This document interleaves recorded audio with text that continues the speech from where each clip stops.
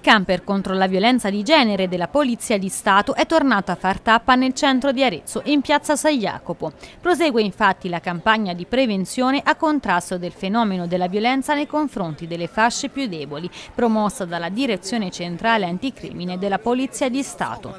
Un'attività di informazione e prevenzione che nelle prime tre tappe ha già catalizzato l'attenzione di oltre 400 persone che si sono soffermate per chiedere maggiori informazioni sul tema.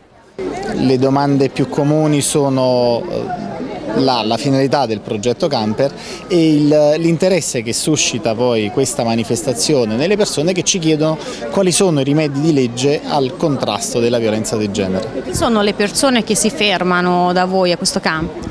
Eh, varie e a dire il vero diverse da quelle che inizialmente potevo immaginare. Eh, un, abbiamo rilevato un interesse forte anche del, del, sesso maschile, non solo delle donne, un uh, interesse che va tra i 40 e gli 80 anni, in misura percentuale direi un 25% di giovani comprese fra i, i, 16 e i 40. Ci sono stati alcuni casi di, di persone che hanno subito violenza di di genere, eh, alcune che hanno denunciato il, il, fatto direttamente, altre invece che si sono riservate di ricontattarci ma che si sono dimostrate comunque interessate e, e sono sembrate felicemente impressionate sia dalla manifestazione sia dall'approccio che abbiamo, che abbiamo avuto. Il presidio ha visto al fianco della Polizia di Stato uno psicologo della ASLA specializzato nella materia ed ovviamente l'associazione Pronto Donna da anni a sostegno delle donne vittime di violenza. Da gennaio ad agosto eh, circa 120 donne si sono rivolte al nostro centro antiviolenza. Sono donne che ovviamente hanno subito, stanno subendo tuttora violenza